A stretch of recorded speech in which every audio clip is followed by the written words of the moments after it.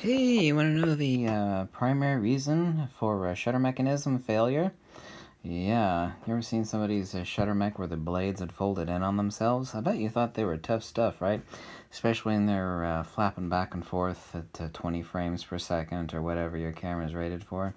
Yeah, they're actually Teflon coated Kevlar. Yeah, let's uh, this is the shutter mech from a uh, Fujifilm X-T2. By the way, if you want to call this flimsy, it's no different than any Nikon or Canon shutter blade. Yeah, this is, let's show you how easy it is to bend one of these. Yep, right there, stuck a permanent crease in it. Um, you actually get dust inside your camera. You're worried about a dusty sensor? Shouldn't be worried about that because it's super easy to clean your sensor, but you're never actually touching the sensor. What you're actually touching is the cover glass. So that's nothing to worry about. What's to worry about, however, is when these are actually reciprocating and you have two curtains in your shutter mech. Uh, let's say 20 frames per second, 10 frames per second, whatever it is. They're actually going back and forth over top of each other. The reason why they're Teflon coated is actually to reduce friction and wear, obviously so, but you get a tiny piece of grit or dust in there. When uh, the grit or dust gets on one of the shutter blades and the other one tries to go over top of it when you're ripping them off at 10 frames per second, what that does is it causes them to warp at high speed. And once they start to warp, then they get worse and worse and worse. Oh my, this is the shutter blade in any modern camera. You think that's flimsy? Oh my god, it's flimsy. Um, the wonderful thing about them, let me uh, show you here. Let me zoom out. There we go. Uh, light this up, and then we're to light up this other one here.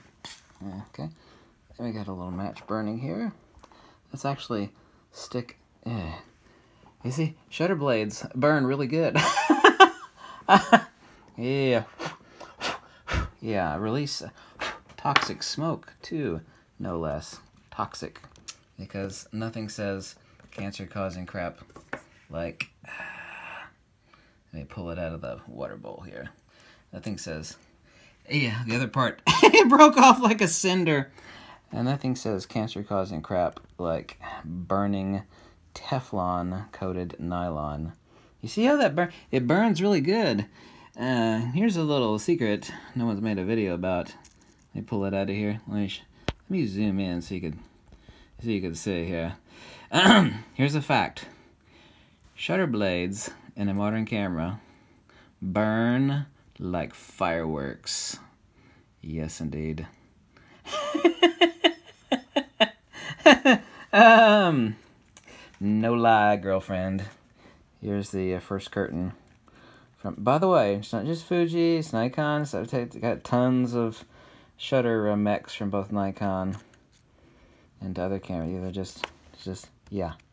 That's yeah. Want to know the main reason to keep dust out of your camera? It's not to keep your sensor clean, which of course is a good reason. It's because of this. Yes. Yes, that's how flimsy shutter blades are in your digital camera. Yes, absolutely. And uh, they love to burn. they burn really good. The problem is the toxic chemical gases that they release when you burn them. And crap you didn't know about your camera.